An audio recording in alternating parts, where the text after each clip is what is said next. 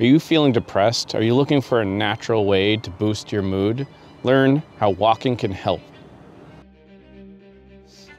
So walking is a form of physical activity and physical activity is shown to reduce stress by releasing endorphins, which is a chemical in the brain that's responsible as a natural painkiller and mood elevator.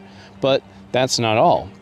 It's also known to lower levels of the stress hormone cortisol, which can help reduce stress, anxiety, and is a mood elevator in itself. Another thing about physical activity is it's been shown to improve our sleep and we all know that good sleep is imperative for mental health and again, reducing stress. And once you get some fresh air and get out into nature, then the mental benefits start to kick in where your anxiety levels start to stress and your mood begins to elevate it.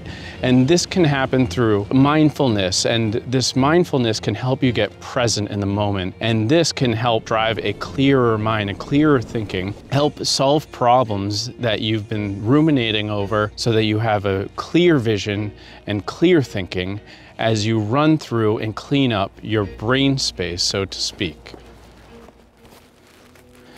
So in conclusion, next time you're feeling angry, depressed, frustrated, confused, anxious, whatever intense emotion that you're feeling, try just going for a walk, a simple little walk. And you would be shocked how much of a big of a difference this makes just for your well-being, your mental clarity, your emotions, your general way of living.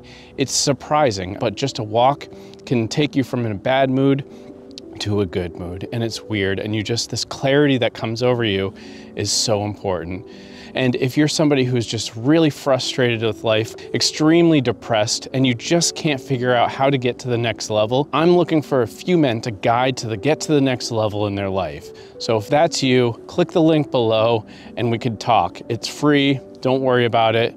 It's just to get to know you better. And until then, cheers.